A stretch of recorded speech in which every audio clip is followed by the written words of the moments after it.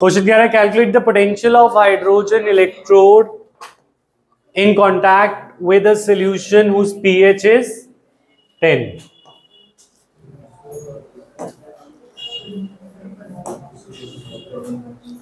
तो जरा इस क्वेश्चन पे ध्यान दें। हमें पोटेंशियल निकालना है पीएच गिवन 10 तो पीएच का फॉर्मूला वैसे हम जानते हैं। पीएच का फॉर्मूला है minus log of H plus तो एच प्लस आयन हमें यहाँ पे मिलने वाले हैं। अच्छा ये हाइड्रोजन इलेक्ट्रोड है तो हाइड्रोजन इलेक्ट्रोड कैसे बनती है? H plus plus electron giving half H two gas यहाँ पे आया एक्वस ठीक है ना ये हमारी क्या बनी? हाइड्रोजन इलेक्ट्रोड इस प्रोसेस में हमें क्या करना है? Um, अब इसके अंदर पोटेंशियल निकालना है। पोटेंशियल निकालने का फॉर्मूला तो नर्स इक्वेशन है। तो E of hydrogen electrode will be equal to E naught of hydrogen electrode minus R T by जिसकी वैल्यू आती है zero point zero by N और वन बाय क्यू सी लिखना है।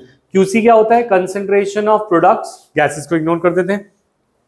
Divided by concentration of reactant reactant में कौन सा है? H प्लस तो हमें बोला लॉग ऑफ़ क्यूसी क्यूसी यहाँ पे आया concentration of products by concentration कुछ बच्चे अगर इसको ये करते हैं सपोज़ अगर मैं इस रिएक्शन को हाफ़ नहीं लिखना चाहता, मुझे अच्छा नहीं लगता तो वो two H plus plus two electron plus gives H two भी कर सकते हैं। इस केस में वो खुद ही आंसर सही हो जाएगा क्योंकि यहाँ पे पावर क्या आ जाएगी?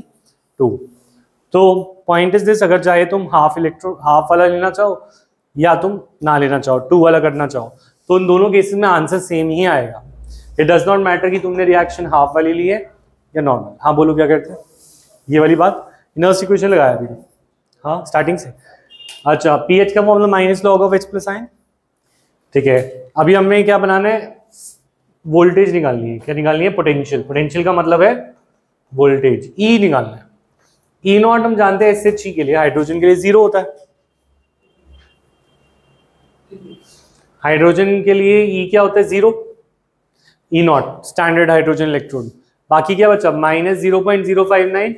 इसके लिए एन वैल्यू बताइए ऋतिक, इस इक्वेशन के लिए दिख रही है? टू कितने इलेक्ट्रॉन का ट्रांसफ़र है? एच प्लस से चार्ज कितना ट्रांसफ़र हुआ? इधर प्लस वन है, इधर ज़ीरो तो कितना हुआ? प्लस वन और ज़ीरो में कितना डिफरेंस होता है?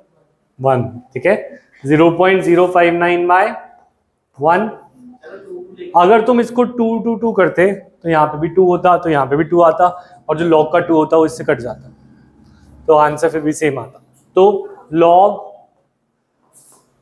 of one by H plus तो मैं इसमें लॉग का फॉर्मूला लगा सकता हूँ। Can I write it as log one minus log H plus ऐसे लिख दू? ठीक है। लॉग वन कितना होता है?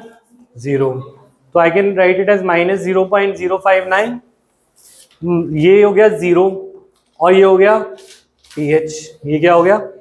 टी एच तो दैट मीन हमारे पास एक फॉर्मूला आ गया zero point zero five nine into p H ये हाइड्रोजन इलेक्ट्रोड का फॉर्मूला ही बन गया। अब अगर वो पी एच चेंज कर देते हैं सिक्स तो तुम सिक्स पहले तुम डिराइव करोगे फॉर्मूला सृष्टि, और फिर तुम इसको यूज़ करो ठीक है? यानी zero point zero five nine two ten done answer ठीक है? अगर एच प्लस का स्क्वायर लेते तुम तो यहाँ पे टू होता। ये टू लॉग एच प्लस आता और टू से वो टू कट जाता। तब भी सेम आता। ठीक है? क्लियर है पॉइंट एक इलेक्ट्रोड की नर्स क्वेश्चन है। सिर्फ़ एक इलेक्ट्रोड का। हाँ? नहीं इलेक्ट्रोड पोटेंशियल से ही तो शुरू होता है। नॉसिक्वेशन में पहले इलेक्ट्रोड की थी। फिर हम रॉड की निकाल सेल की निकालते